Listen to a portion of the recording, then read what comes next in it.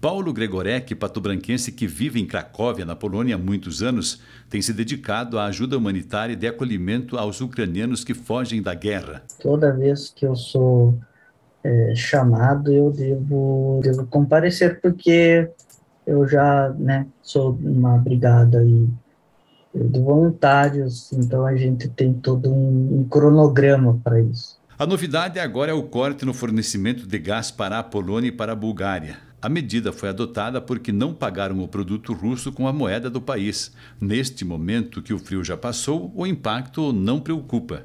A princípio, o impacto não é tão grande nesse momento, mas a tendência é que nos próximos meses, sim, a gente tenha um, um impacto muito maior. Para vocês, para os cidadãos que vivem aí, ainda não está faltando gás hoje? Não.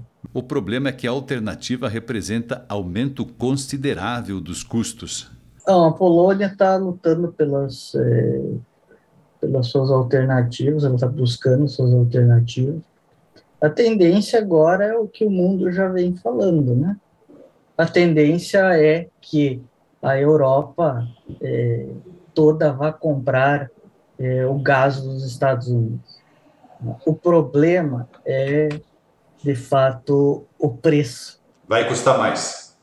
Sim, vai custar cerca de 40% mais. Para Paulo, que é mestre em História pela Universidade de Cracóvia, a Europa depende muito das forças dos Estados Unidos e da Rússia. Nesse momento fica claro é, todo o poder dos Estados Unidos, toda a força dos Estados Unidos né, e da Rússia, e, digamos assim, é, da fragilidade, né?